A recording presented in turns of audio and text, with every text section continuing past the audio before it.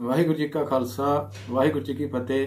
ਮੈਂ ਕੈਪਟਨ ਸੁਰਜਨ ਸਿੰਘ, ਪਿੰਡ ਚੰਦੂਮੰਜ, ਉਪ ਜ਼ਿਲ੍ਹਾ ਪ੍ਰਧਾਨ ਸਾਬਕਾ ਸੈਨਿਕ ਵਿੰਗ।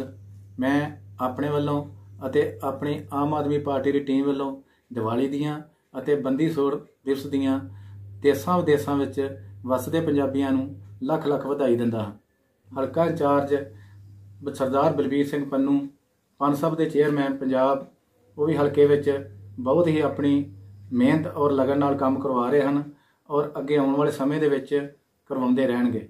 ਸਰਦਾਰ ਬਲਬੀਰ ਸਿੰਘ ਪੰਨੂ ਇੱਕ ਆਰਮੀ ਚੋਂ ਰਿਟਾਇਰਡ ਇਨਸਾਨ ਹਨ ਔਰ ਬਹੁਤ ਹੀ ਮਿਹਨਤੀ ਵਰਕਰ ਹਨ, ਜੋ ਆਉਣ ਵਾਲੇ ਸਮੇਂ 'ਚ ਚੰਗੇ ਕੰਮ ਕਰਵਾਉਣਗੇ। ਵਾਹਿਗੁਰੂ ਜੀ ਕਾ ਖਾਲਸਾ, ਵਾਹਿਗੁਰੂ ਜੀ ਕੀ ਫਤਿਹ।